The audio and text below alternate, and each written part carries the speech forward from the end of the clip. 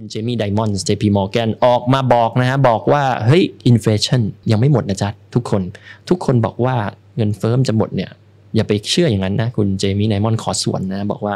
ผมก็ยังมองว่า inflation เนี่ยไอ้เงินเฟ้อยังไม่หาย แล้วเดี๋ยวสักพักมันจะกลับมากำเริบ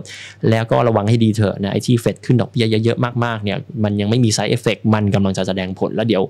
จะมีปัญหา นะฮะอันนี้คือความเห็นของคุณเจมี่ไดมอนด์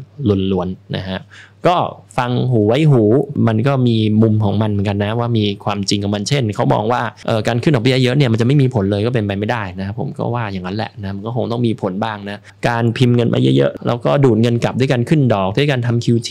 แล้วสุดท้ายมันก็จะกลับไปสงบเงียบเหมือนเดิมไม่มีอะไรไม่มี side effect อะไรเลยเนี่ยผมก็ว่ามันดูจะแหม่งๆไปหน่อยนะฮะก็คิดว่ามันคงจะมีแหละนะฮะก็เชื่ออย่างนั้นนะฮะแต่ว่าตอนนี้มันอาจจะยังไม่แสดงผลเหมือนคุณ overdose อะนะคุณฉีดยาแบบ double triple ไปเลยนะปกติขึ้นดอกกันแค่ 0.25 คุณก็ขึ้นสัก 0.75 เนี่ย ฉีดกันหนักๆนะ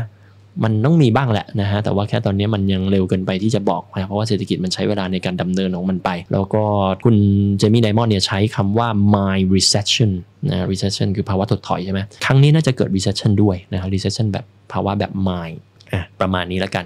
นะฮะสำหรับข้อมูลล่าสุดก็อยากให้ฟังความเห็นหลาย ๆ คนไว้แล้วเราก็ไปประเมินกันอีกทีหนึ่งนะฮะ